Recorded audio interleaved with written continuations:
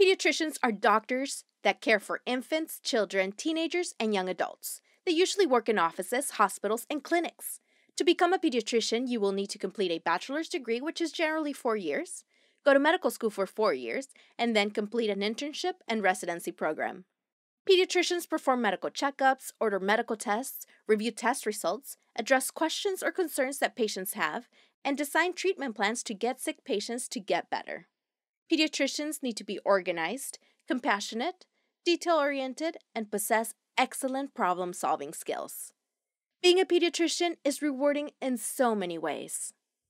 First thing I do when I get there is I go to the newborn nursery, which is my favorite part of the day. Because really, if I could just see those babies every day, that, you know, and just deal with their, you know, these little tiny, tiny newborns, that I, I love that. The best part about taking care of children is that you can be a little goofy and I can be serious, but I can be funny and enjoying life and making a child smile when they're not feeling so well.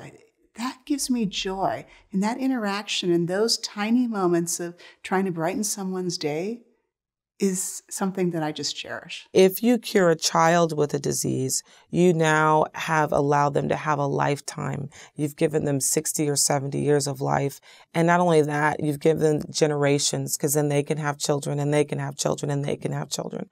So saving the life of a child is really impactful in many, many different ways. When I see them as a newborn and then I see them each stage of the way, um, is amazing. And I, I feel like, in a way, I'm part of their family. I'm a part of their development, and um, and I feel proud of them. To keep learning about pediatricians, read through the information below.